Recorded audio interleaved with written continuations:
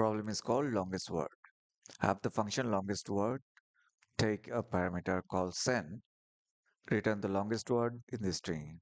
If there are two or more words they are at the same length, return the first word from the string with the length, ignore punctuation and assume sen will not be empty.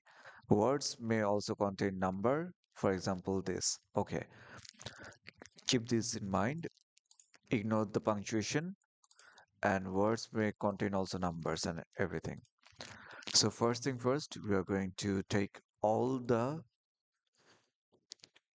we only want the characters. We don't want anything else. So const words.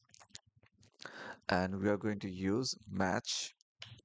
It is going to match and give us an array. So uh, starting and ending and then we are going to a to z lowercase a to z uppercase uh, uppercase. So we only want them and we want all the all the letters uh, that satisfies this condition.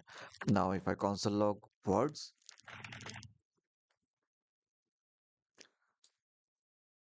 it is giving me all the characters all the characters and words and it is giving me an array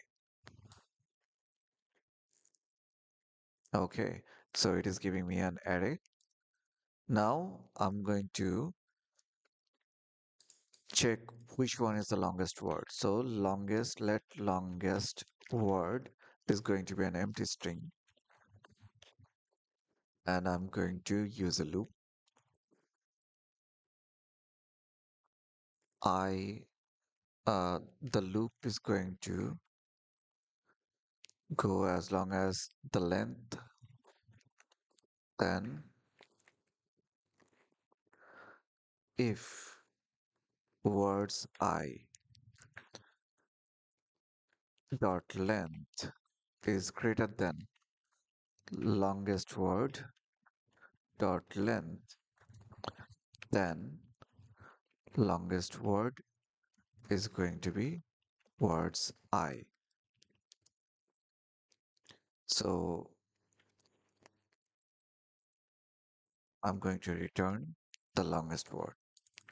That should satisfy this problem. Mm, okay. So run test cases and submit